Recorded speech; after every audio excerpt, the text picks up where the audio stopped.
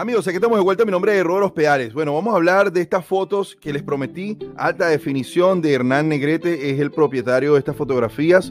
Aquí tienen la cuenta de Hernán debajo de la pantalla. Arriba es la mía en Instagram. Les pido por favor que vayan a apoyar a este chico. Unas fotos de alta definición, no todo el mundo las comparte para los demás, las venden. Y si las comparten, no son de alta definición. A veces sí hay algunos que la, lo hacen, pero Ah, bueno, no es siempre eso que sucede. Nosotros ya tenemos experiencia de esa situación. Por favor, apoyen a este chico que su cuenta de Instagram se la cerró esta empresa o esta compañía de red social. Y bueno, eh, no sabe ni siquiera por qué. Todo el material que tenía allí era de su misma persona, no le pertenece a nadie. Y bueno, él está tratando de recuperar la cuenta. Aquí vamos a hablar de estas fotos para que puedan ver a Hadi Chopin y a Big Ramy. Ustedes van a diferenciar lo que es la preselección a la final por el fondo, el background es rojo, la preselección, la final van a ver el trofeo de Eugene Sando. Quiero comentarles algo bien importante. ¿Qué se busca? ¿Por qué no aparece Corey aquí? Bueno, después lo traigo, amigos, porque más que todo la polémica ha sido entre Hadi Chopin y nuestro amigo Big Ramy. Hay unos que dicen, bueno, eh, Big Ramy es el papá. No hay nada que buscar en el caso de nuestro amigo Hadi Chopin. Pero ¿qué es lo que sucede? El condicionamiento de Hadi. Vamos a poner un ejemplo aquí bien interesante. Nuestro amigo Chris Bonstead con el resto de los chicos, los dos más cercanos, Brion y nuestro amigo uh, Terence Ruffin. Ustedes pueden ver que el condicionamiento de Brion es bueno, no es tan bueno como el de Terence. El de Terence es bueno, pero no es tan bueno como el de nuestro amigo Chris Bonstead. Ahora, Chris Bonstead tiene tamaño, condicionamiento y los demás chicos no tienen mucho tamaño, pero no tienen un condicionamiento superior al de Chris. Ahora, si nosotros vemos aquí, es lo que cada uno vaya a ver. Es verdad, es que si nosotros vamos a decir esta situación de que Hadi, no Hadi, perdón, de que Big Ramy parece el papá de Harry Chopin, es que Big Ramy parece el papá de todo el mundo. ¿Por qué creen que le llaman Big? El tipo es enorme. Ahora, si nosotros vamos a buscar por tamaño muscular, ya lo he repetido. Entonces Big Ramy nunca va a salir de allí hasta que se retire. ¿O por qué si es así? Anteriormente no había sido Mr. Olympia. Amigos, Phil Heath le ganó a nuestro amigo Big Ramy en el 2000 17, Big Ramy pesando 60 libras de más. ¿Pero por qué? Bueno, el condicionamiento de nuestro amigo Big Ramy no daba con el condicionamiento de Phil Heath. Ahora, aquí es evidente que nuestro amigo Phil es superior en tamaño, proporciones estéticas que nuestro amigo Hadi. Pero es lo que cada quien vaya a querer ver. Si buscamos condicionamiento, cortes musculares, detalles, lo están viendo. Impresionante. Yo tengo, amigo, tenía tiempo que no, tengo la pantalla ampliada. No les muestro lo que yo estoy viendo porque interferiría con la grabación. Ampliada totalmente. Tenía tiempísimo que yo no veía un video ampliado que yo estuviese viendo y se viese con esa definición. Recuerde que cada vez que usted va ampliando algo, se va perdiendo lo que es la nitidez. Imagínense cómo veo yo los detalles. Ahora, el problema de los hombros, Dios mío, ¿hasta cuándo se los voy a decir? No se pongan a estar escuchando gente que no sabe de esto.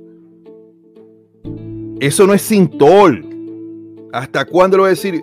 Amigos, cuando usted se inyecta una y otra vez, una y otra vez, una y otra vez, eh, este, eh, podemos hablar de ester corto.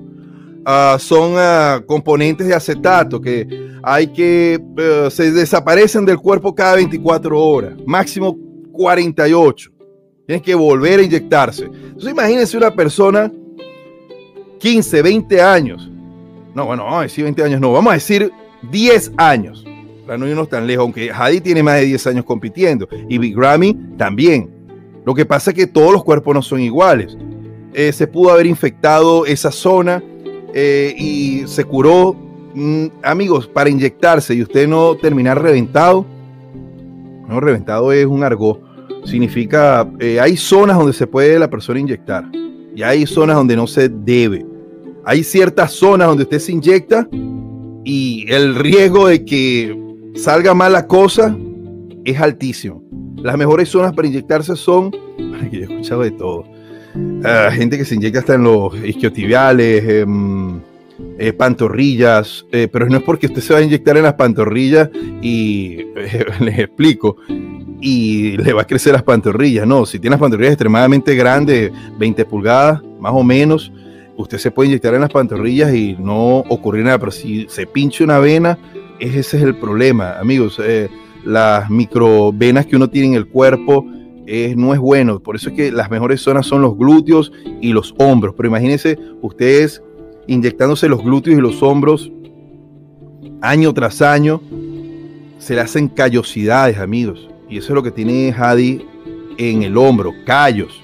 Si Hadi tuviese sintol mal aplicado, porque también esa es otra cosa, eh, la mayoría de esta gente usa sintoles, clean, entonces bueno amigos, pero hay que saber cómo usarlo porque si no eh, daña lo que es el, um, los cortes musculares, lo que es el músculo como tal y se va a ver de una manera antiestética y de seguro lo van a ir mandando para abajo en las posiciones. Si Hadi estuvo peleando el top 3, tengan la seguridad que los jueces son muy detallistas en esas cosas. Pero volviendo a lo que son los detalles musculares, eh, es lo que los jueces vayan a querer. Si vamos a buscar estética, está Brandon Corey. A pesar de que tenga las piernas, no son pequeñas. Lo que sucede es que sus piernas no están equiparadas con su parte superior. Pero es el más estético de los tres, aunque no está aquí. Si buscamos definición, cortes musculares Hadi, si buscamos tamaño con condicionamiento, está nuestro amigo um, Big Ramy. Pero eso va a depender de lo que los jueces quieran. Ahora esto no es como he leído en algunos comentarios sobre los jueces son los que saben. Y ahora todos ustedes son jueces que andan opinando aquí que Hadi ganó, que Hadi ganó. Déjense ese cuento. No, no es así, amigos. Nosotros tenemos que tener... Yo he escuchado, mire, yo tengo amigos entrenadores, competidores, profesionales. Y si ustedes escuchan las cosas que suceden, uno no las puede denunciar, amigos. No. ¿Por qué? Un competidor que denuncia algo que está sucediendo, se le acaba la carrera. Un entrenador también. Un youtuber también. Entonces, tienen que entender, miren el vacío abdominal de Jade. Tienen que entender que esto no es así de fácil. Entonces, ¿por qué compiten? Bueno, amigos, para tratar de ver si se la pegan allí. A eso me refiero. Pero no es así como ustedes creen que siempre va a ganar el que lo merece. Ahora, yo no estoy diciendo que Big Ramy no merezca ganar. Es lo que querían los jueces, es lo que quería la federación.